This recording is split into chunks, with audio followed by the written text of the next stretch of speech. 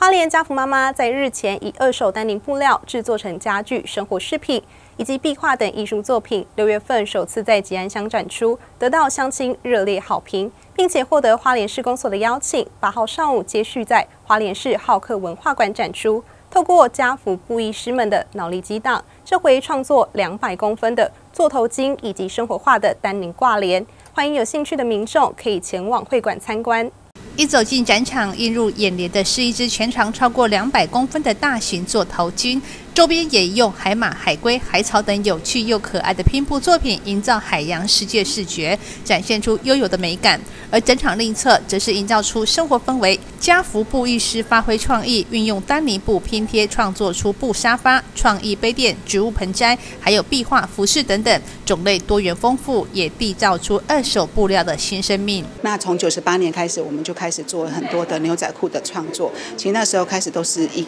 在启蒙阶段，那到一。一百零八年的时候，其实获得爱德恩的一个合作，我们就进行一个酷爱地球活动。从那个时候，我们大概拆解了将近八百八百件的裤子，不断的去拆解重组，累积了我们大量对牛仔裤这个材质的熟悉。那到今年呢，就在呃施工所以及我们策展策展人的邀请之下呢，我们进行了这个丹宁的一个部分的创作。那其实透过这一次的展览，我们有特别制作了呃符合花莲的这样子海洋生态的座头巾。那希望让我们呃所有来观赏的一个。乡亲，我们的民众，还有外地的游客，可以看到说，其实，在花莲有这么棒的一个自然资源，它是透过我们的展览可以呈现，跟自然景景观相呼应的。市长魏家贤也鼓励家福中心可以往更高层次的地方来策展，让丹尼布料的创作可以成为花莲地方特色。那我们也谢谢我们家福中心长期以来对于花莲弱势的关怀。那其实它有很多元的一个就业方案跟生活辅助的方案。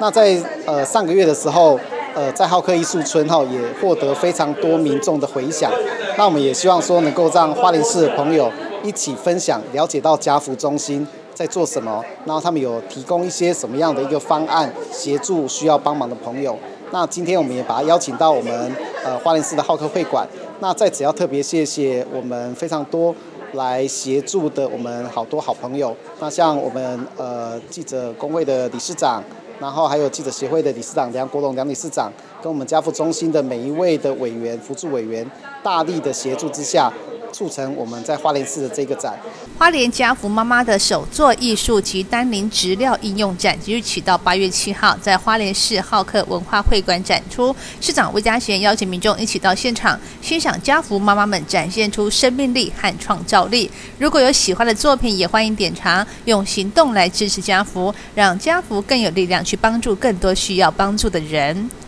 谢实力情，花莲市报道。